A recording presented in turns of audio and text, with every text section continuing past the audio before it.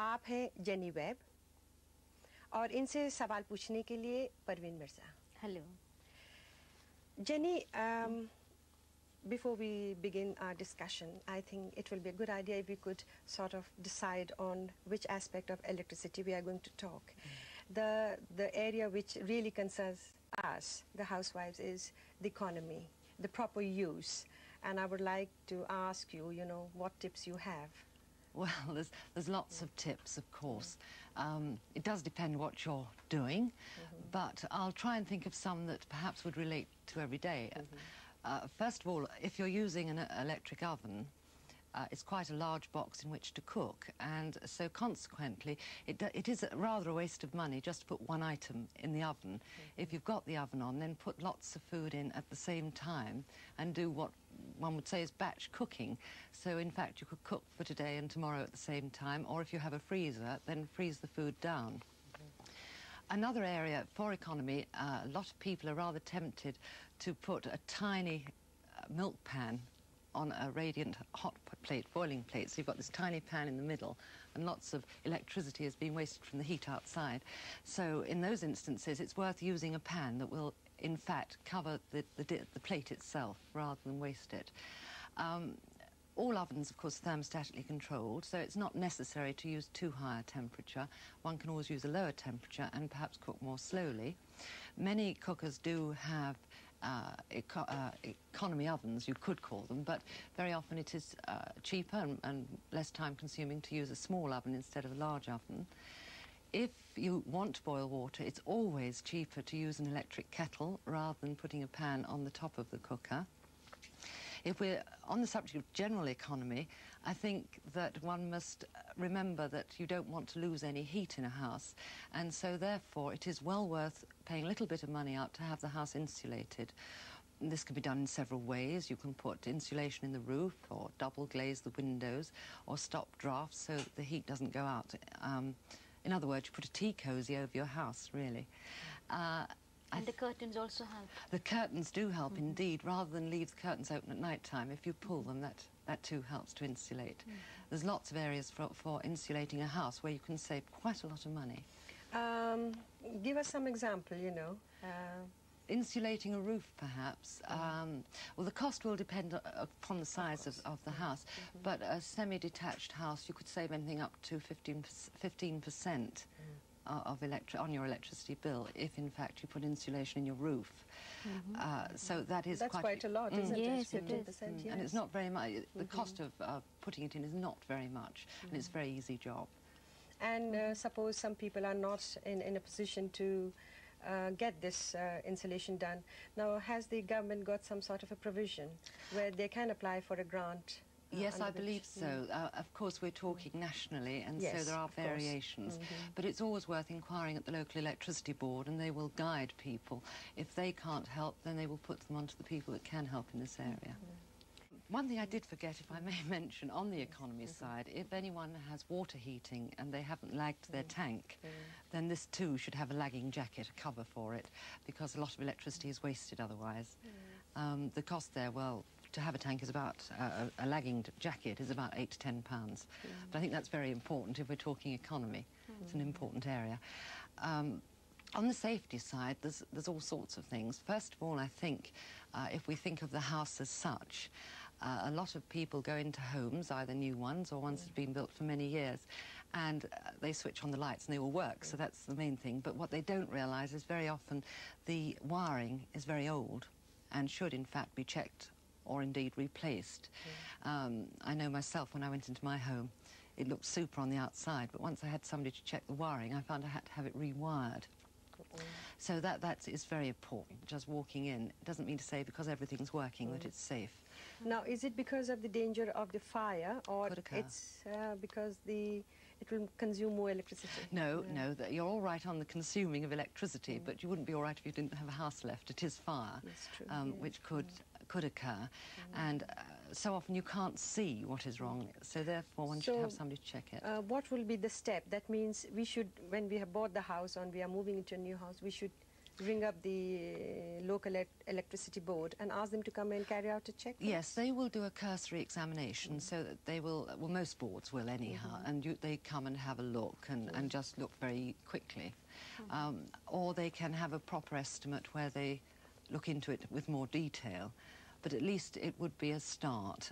Uh, and of course, the wiring in some of the, the houses are very antiquated, and you have 15 amp and, and 5 amp plugs, whereas 13 amp, of course, are much more modern. So it would be worth doing that. So, so perhaps that's the major thing.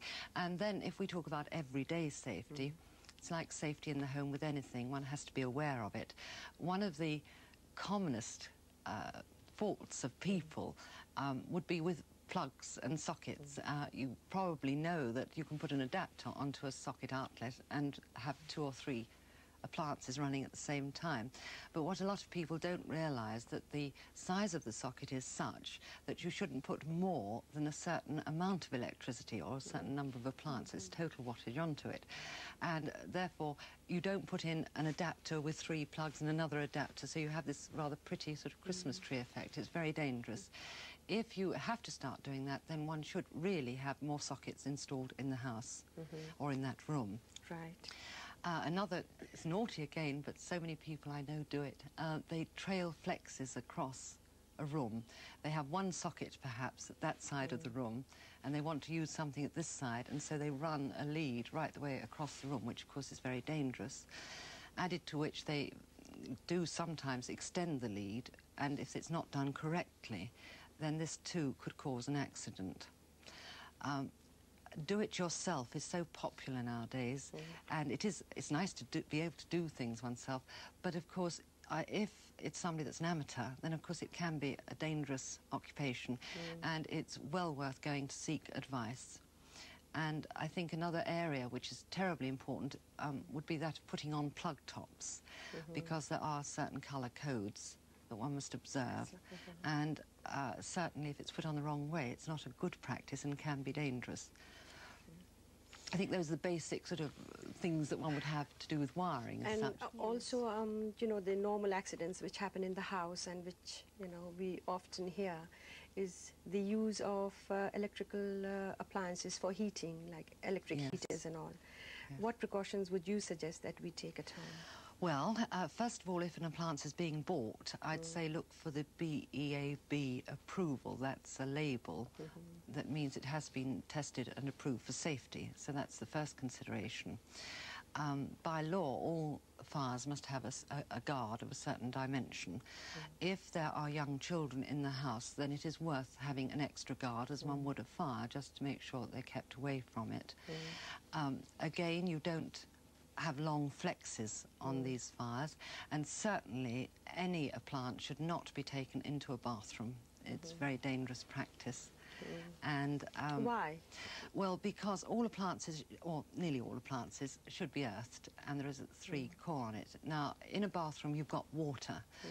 and we all know water and electricity doesn't mix very well together. Mm-hmm. And it is possible, and, and there have been, there are not many accidents, but where people have not observed the rules, mm. they've taken heating appliances or even televisions into the bathroom, and they've been having a bath and they've fallen in.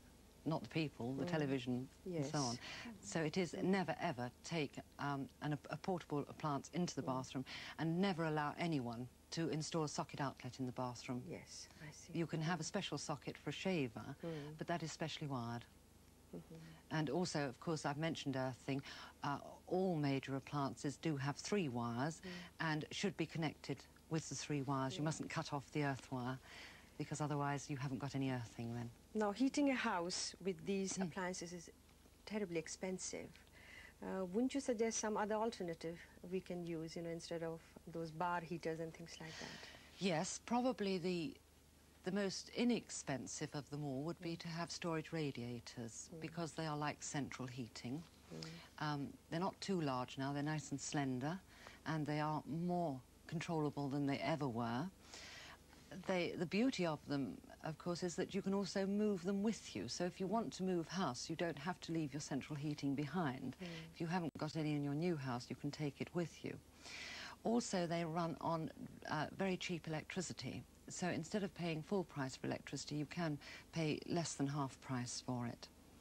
uh, a one bar, we'll just take a bar fire. I think that probably means more to people, but if one took a one bar electric fire, the, um, the average price of a unit, which is how we buy electricity, is about four and a half p.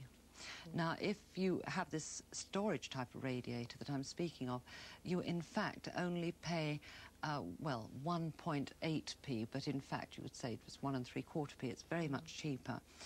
Added to which, uh, the benefit of this particular rate, and we were going to talk about economy in a moment, but it does mean that for seven hours, usually over the nighttime period, you get less than half price electricity anyhow for everything else that you're using. So it's a very economical rate to be on. And if you haven't got storage radiators, you can still have it.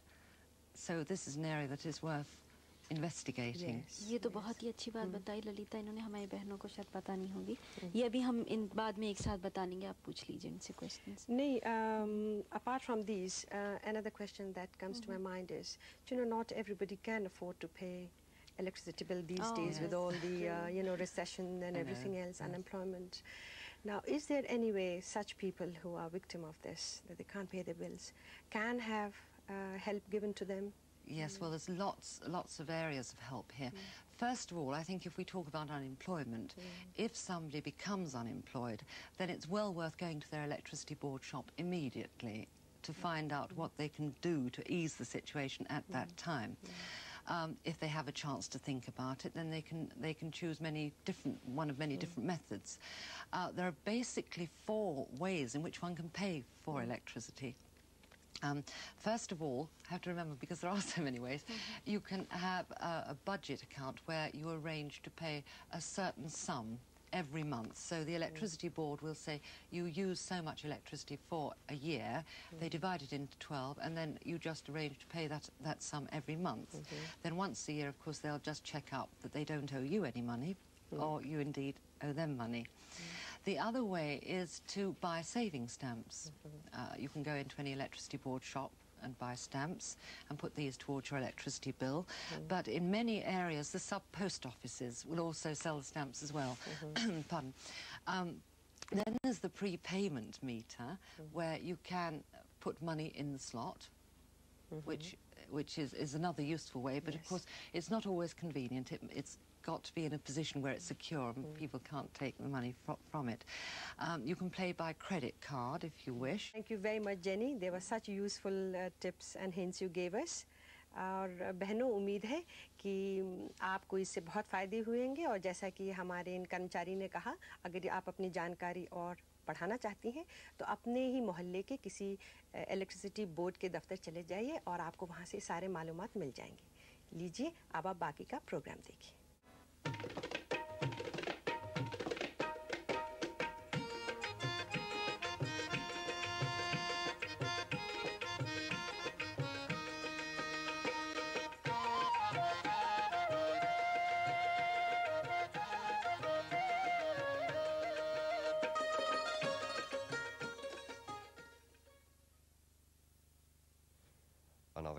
On BBC Two next Wednesday at 10.20.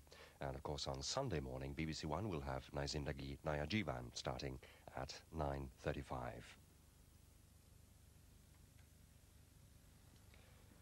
Well, here on BBC Two now, it's time for Play School, a little earlier than usual, and it's presented this morning by Lucy Skeaping and Ben Bazell.